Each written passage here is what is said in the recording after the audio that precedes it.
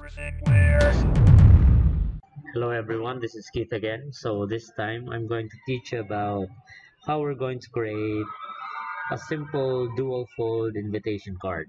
So let's go. First we're going to open Adobe Photoshop, click on File, click on New. Same as what we did before, we are going to use inches for our unit of measurement. Then for the width we are going to use 8.5 this time. So when we want it to be a standy or in a portrait mode then we're going to change the height to 11 resolution will be 150 click on create now this time what we're going to do is to divide this one into two which means we're going to create some sort of an imaginary foldy in this area so first we are going to click on the slice tool. Again the slice tool is located under crop tool. So crop tool is the basic tool that we're going to use. Then click on this one slice tool. So click on the topmost left area then drag it downwards to the bottom right area. Now you'll be able to notice an outline of some sort of a yellowish outline.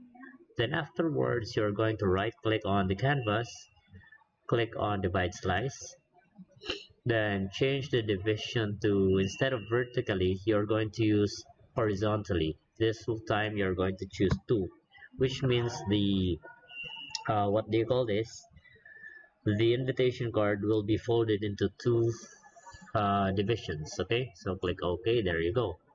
So the next thing that we're going to do I've already prepared some of the images. Again this is not design wise which means this is in a crash course basis so let's not very much particular with the design but instead uh, on how it's going to uh, be implemented. So I'm going to choose the invitation details. I only have two details in here. Actually two images I mean. So we have the background and the PNG file. So I'll I will be providing you with a copy of this one in case you want to make a practice on this. I'll be posting out on the details on the description below. So click on open. There you go. So the first thing that I'm going to do is I'm going to use the move tool. Click the move tool drag it towards the untitled document. There you go. So if you want it to be inverted or let's say rotated you're just going to click on image I mean edit then go to transform then rotate 90 degrees clockwise. There you go. Now if you want to resize it you can just simply resize it through here. That's it. So I will not be very particular with the details okay? So just place it like that. Click on check then click on lock. There you go so that it will not be movable. This time I'm going to choose the ring.png same thing I'm going to drag it over here drag it there. There you go. So I already have this one is the front part and this one is the back part okay? So it's up to you how you're going to place it. Or maybe this will be on the inner area. It's still up to you guys. So I'm going to place the letters. Let's say this is a wedding event for your friend. Let's say I'm going to choose Andrew and Rachel I'm just going to place the initials of them I'm going to choose gold for the color. Let's say like that. A and R. Oops. Just place A R. I know. So resize it. Place it over there. So I don't like the designs. I'm just going to change it to something like AR capital A and R. Again this is just a sample so let us not be very particular with the design. So this is an impromptu basis guys so I know how it would look like.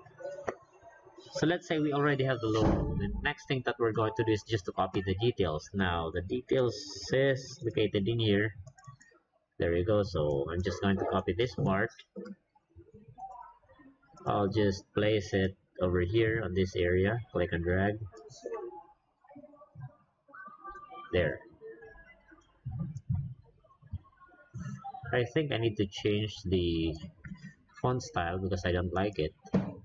I'll just use the simple one and place it on the right align right. If I want to change the color I can just change it like that. So once it's done I'm just going to copy this one place it over here and I can uh, just place the details of the address for the reception. So highlight oops sorry highlight all of them then paste. If you want to align it in the center there you go just place it over there okay so that's it. If you want additional details for this so it's still up to you guys. So i'm just going to type it here. Let's say Andrew and Rachel, copy paste. Control a center there you go. I'm just going to change the font again. I don't like the font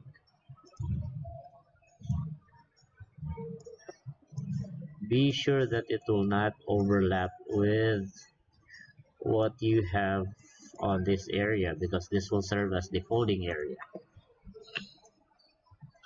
Okay so what else? For the date I know where I'm going to place it. Maybe it's somewhere in here. I'll just duplicate this one if you don't know how to duplicate it uh, I've already created a tutorial for it on a se separate video. It's on the brochure making. So you might want to check that one out. Oops what's wrong with this? Okay. There.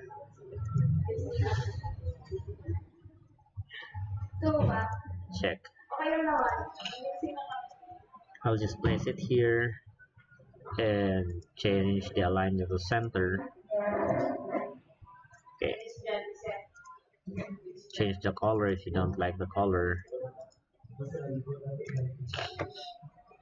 There you go. So that is how you are going to create a dual folding uh, what they call this invitation card in Photoshop so you're just going to play with the slice tool. So basically the tool that we are going to focus in this one is just the slice tool and nothing else. I still don't like the logo the design of the logo. I still don't like the color and everything else. It's just the concept. So if you have to place an additional detail on the inner part of the uh, invitation then you might as well check that one out and make an experiment on uh, how it would look like through printing a draft of your publication okay? So that's it for now guys. So this is Keith again. Oh by the way I forgot to save it. Click on file. Save as. Be sure that you have your backup. So I always make sure that every time I'm going to create a graphic design I always create a backup for it. So click on file. Save as. So I already created a backup. So click on save as type. I'm going to use JPEG then type it as invitation there you go so thank you so much guys and have a nice day. Bye. Everything weird